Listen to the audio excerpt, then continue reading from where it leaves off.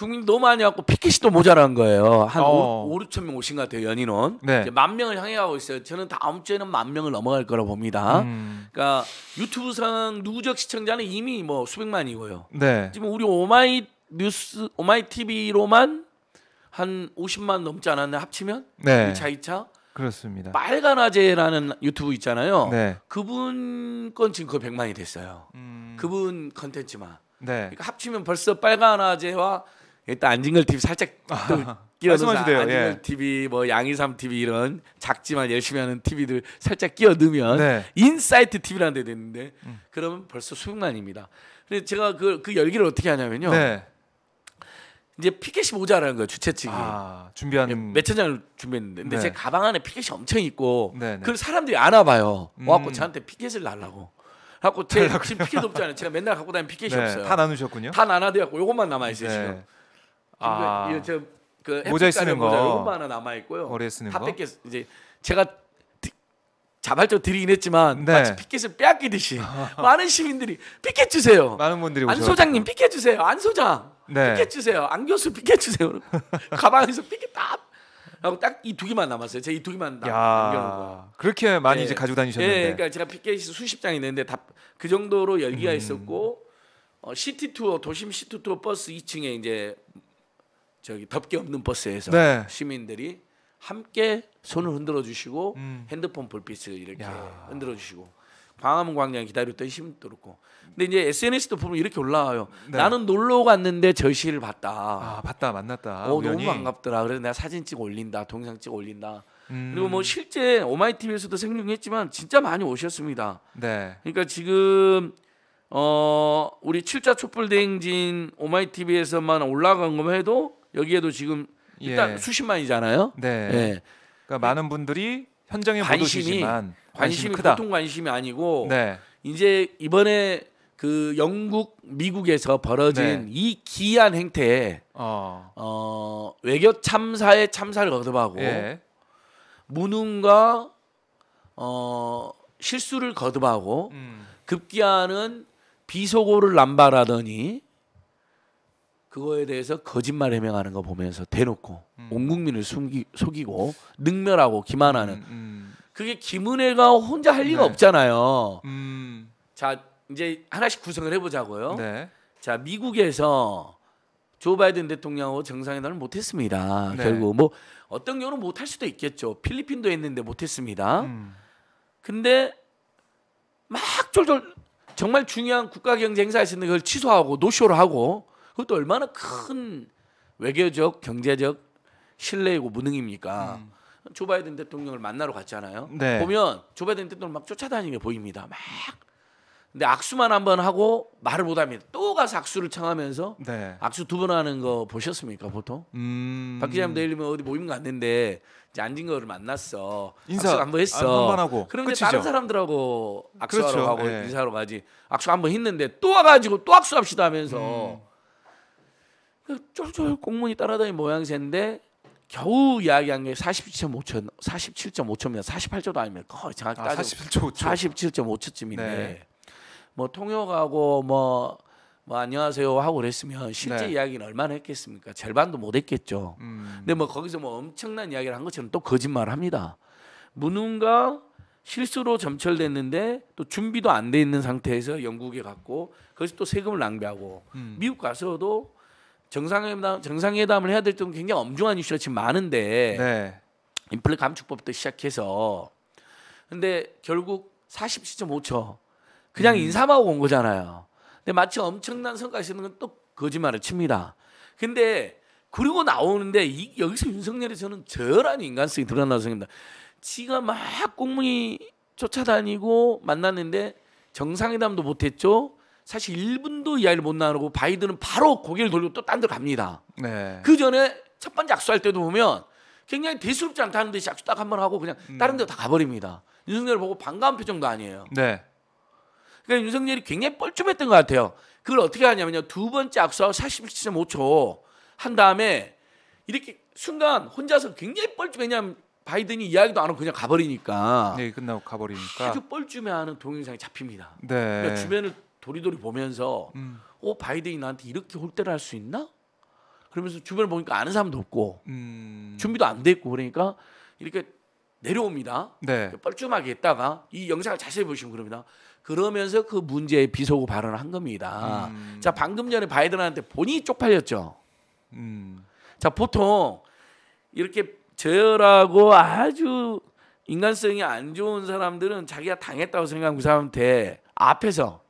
강한 사람이니까 앞에서 말 못하고 뒤에서 흉을 보고 그런 경우가 종종 있지 않습니까? 딱 내려오자마자 바이든한테 당했는데 아나 네. 바이든한테 당했다 내가 쪽팔려 죽겠다라고 차마 참모단한테 말할 수가 없- 없으니까 야미 의회에서 승인을 안 해주면 네. 바이든 쪽팔려서 어떡하냐 아하. 마치 그런 맥락이다.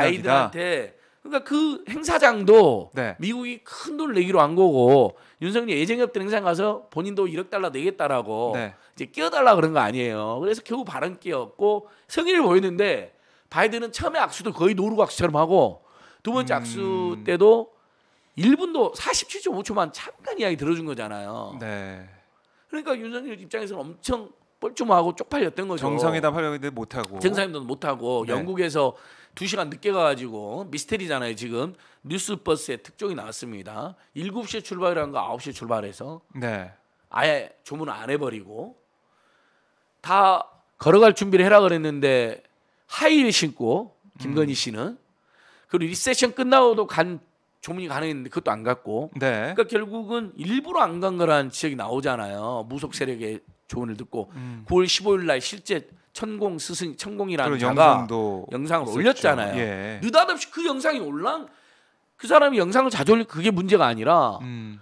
16일 조문을 앞두고 있는데 갑자기 9월 15일 날 내가 영상을 봤잖아요 제가 네. 얼굴이 보이지 않는 제자라는 사람이 문상은 어떻게 되냐 물어봅니다 음. 그러니까 기다렸다는 듯이 잘 모르는 사람 문상을 하면 4차원이 열려서 네. 악기 안 좋은 어. 기운이 붙는다라 그럽니다 음. 잘 모르는 사람 그러나 정말 자기가 모셨던 스승 같은 사람 삶의 지표가 되어 은사가 된 사람 같은 분은 가야 된다 그럽니다 네. 그러니까 천공 같은 사람이 죽으면 나한테는 와라는 거잖아요. 자기가 스승이요 지표니까 네. 은사니까 내 지도를 받았으니까 윤석열 김건희가. 근데 잘 모르는 사람 윤석열 엘리베이터 이사를 어떻게 알아요? 음. 이름도 틀리는데 이름도 틀리면 잘 모르는 정도가 아니라 음. 아예 모르거나 악연이 있는 사람이죠. 네. 엘리사베스라고 한 거 아닙니까? 그렇습니다. 다시 한번 말하자면. 여러분 엘리사베스는 우리 김대중 우리 국민들과 세계인이 가장 많이 하는 한국 정치인 존경하는 한국 정치인 김대중 전 대통령이 돌아가실 때 외국 정상이 김대숭 음. 전 대통령이 돌아가셨다고 말한 거랑 똑같습니다. 예, 철자가 틀려버리니까 어감이 완전 다르잖아요. 다른 사람이죠. 예, 완전 다른 사람이잖아요. 네. 그럼 한국 국민들 얼마나 그 실망하고 분노했겠습니까? 우리가 존경하고 사랑하는 지도자가 돌아가셨는데 네. 이름까지 틀린다. 철자도 아하. 몰랐다. 아예 안 했으면 모를까. 뭐 요런 상태에서 음. 칼 이제 천공이 갑자기 가지 말라고 원래 무속인들 사이에서도 돌아가신 잔달이 안 된 시신에는 이제 어, 조문을 가면 상문이 붙는다. 이게 무속 용어입니다. 상문. 이제 조문 상갓집에 가는 걸 상문이라 그러는데 네. 그 상문 앞기 이제 줄여 상문이라는데 상문 앞기의 줄임말입니다.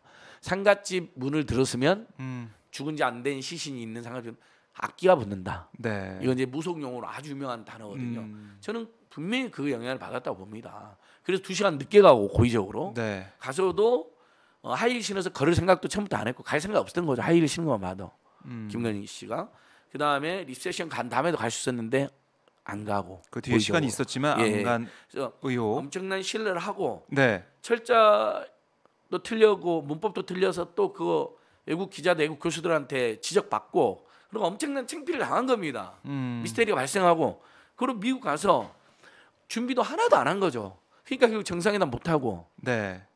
그다음에 근데 이제 조 바이든이 있다니까 그리 쫓아가서 1억이라도 부랴부랴 내겠습니다. 했는데 조 바이든한테 사실 박대를 당한 거거든요. 홀대를 당한 거거든요. 음. 첫 번째, 두 번째 악수를 무리해가면서 학기까지 했는데 그러니까 본인이 쪽팔리니까 네. 부하들한테 근데 그런 말 하기 싫으니까 거의 깡패 조폭처럼 살아온 그 태도 평소에 이준석 대표한테도 이 새끼 저 새끼 이준석 대표는 심지어 뭐라 그랬습니까?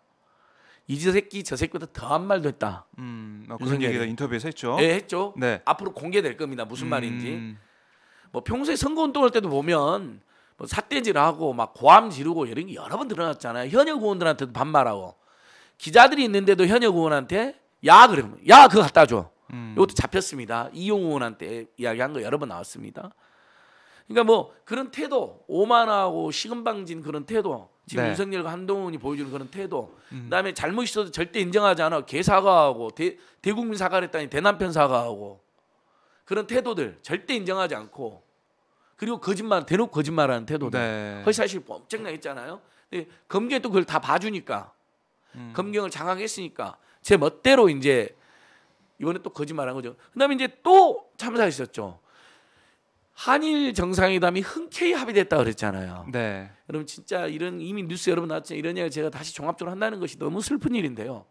일본에서 바로 부인했잖아요. 음. 합의 안 됐다. 네. 불쾌하다. 하도 만나달라고 한다. 음. 심지어는 하도 만나달라고 하니까 검토를 하고 있다. 네. 이번에 진짜 일본에 가서 어떻게 됐습니까? 미국에 가서 아. 한일 정상회담 발표를 했는데 네.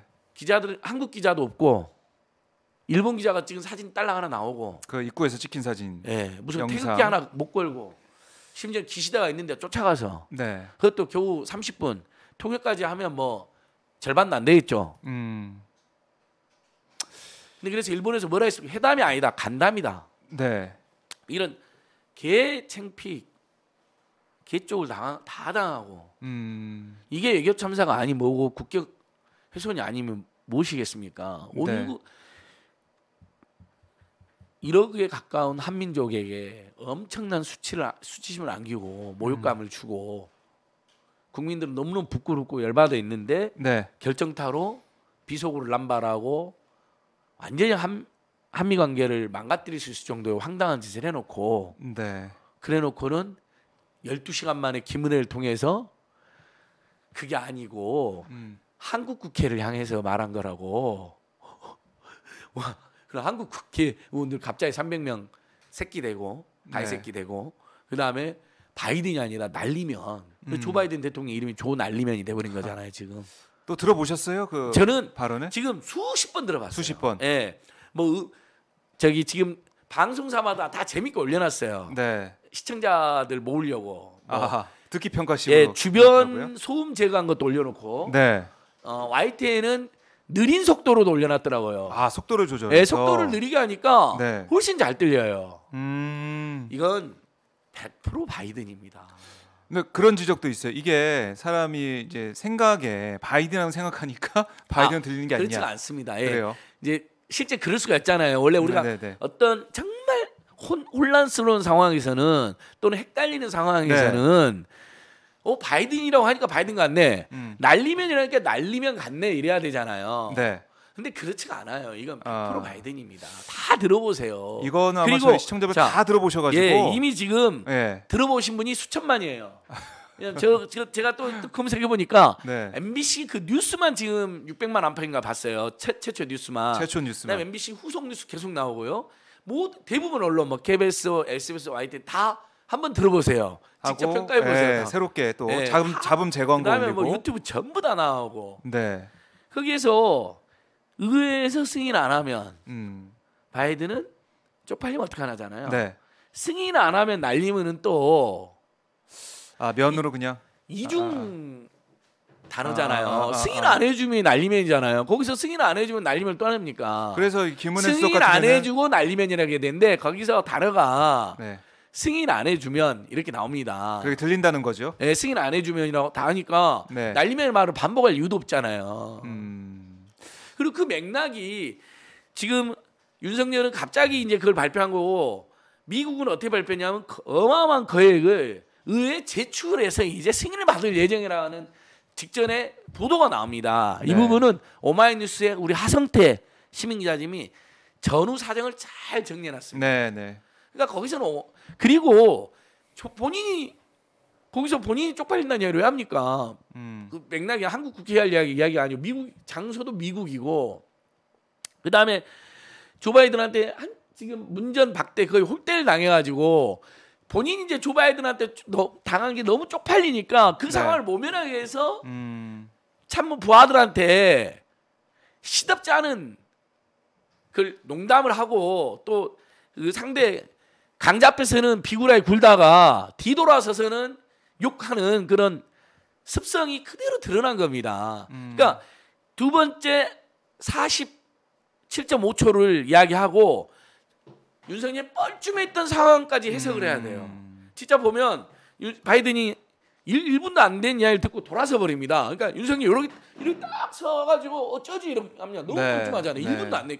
한 그래도 2, 3분 보통 우리가 이렇게 잠깐 나눌 때 뭐 그동안 잘 지내셨어요. 음. 아이고 잘 지내셨어요. 강행군으로 일찍 뭐 피곤하시죠. 아이고 대통령도 그러시죠. 아이고 이번 에 아쉽게 정상회담 안 됐는데 네. 잠깐만 그러면 저희 한국에서 너무 걱정하고 있는 거 인플레 감축법 그다음에 어 저기 고환율 뭐 여러 여러 가지 걱정이 있으니까 우리 한- 한미가 좀더 음. 수평적으로 논의 좀 이것만 해도 일본이 더 진하잖아요. 그렇죠. 말도 못한 거예요. 이런 말도 못한 거예요.